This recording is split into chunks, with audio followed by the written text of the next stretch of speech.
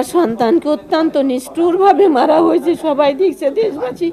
তখন থেকে শুধু আমি না, পুরো দেশবাসী চাইছে যারা এত নিষ্ঠুরভাবে ওকে মেরেছে, ওদের শাস্তি হোক। তো আমাদের আশা ছিল যে আমরা পঁচিশ জনের মৃত্যুদণ্ড পাবো এবং তা কার্যকরী হবে। যেহেতু বিশ জনের মৃত্যুদণ্ড দেওয়া হয়েছে এবং বাকি পাঁচজনকে যাবজ্জীবন কারাদণ্ড দেওয়া হয়েছে, আমরা এদের এই বাকি বিশ জনকে যেন অনতি বিলম্বে যত দ্রুত সময়ের মধ্যে হোক এদের রায় কার্যকারী করা হয়। আর হচ্ছে যে পাঁচজন, এর মধ্যে অমিত শাহ তো সবাই আপনারা জানেন যে অমিত শাহ, সে তার নির্দেশে সব কিছু হয়েছে। আমরা তারও মৃত্যুদণ্ড অবশ্যই চাই।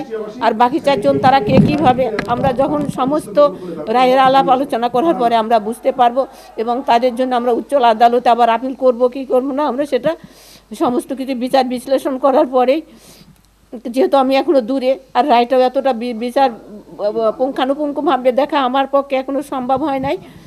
তো এখন যে বিশজনের রায় কার্যকরী হয়েছে মৃত্যুদণ্ড হয়েছে, শুধু এখন আমি এইটাই চাবো যত দ্রুত সম্ভব এদের রায় কার্যকারী হোক, মৃত্যু মৃত্যুদণ্ড কার্যকারী করা হোক।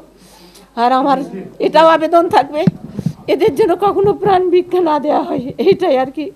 এটাই হয়েছে, আমরা চেয়েছিলাম পঁচিশ জনের ফাঁসি যেন হয়, তো তারপরে বিশ জনের হয়েছে।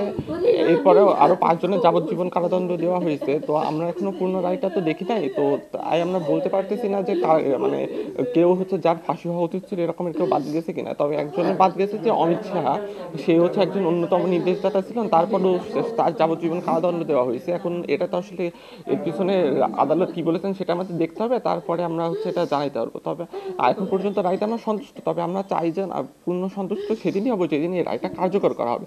তবে আমরা দেশবাসী সকলের উপর সকলকে ধন্যবাদ জানাতে চাই। সাংবাদিক ভাইরা আমাদের সাথে এই দুই বছর ধরেই সবসময় আমাদের পাশে থেকেছেন। তাদের সকলকে আমরা ধন্যবাদ জানাতে চাই চাই, এবং দেশবাসীর প্রতিও আমরা কৃতজ্ঞ।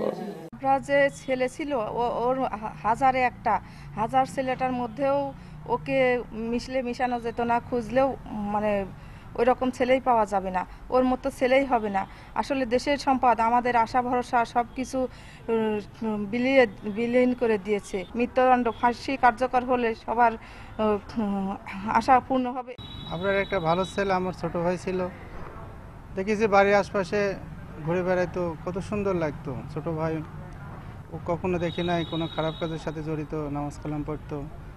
মাথা সাপোর্ট করে যাইতো আসতো ঠিক আছে কিন্তু তাকে যেভাবে নৃশংসভাবে হত্যা করা হবে পিটাই মারা হবে এটা কখনো সহ্য করা যায় না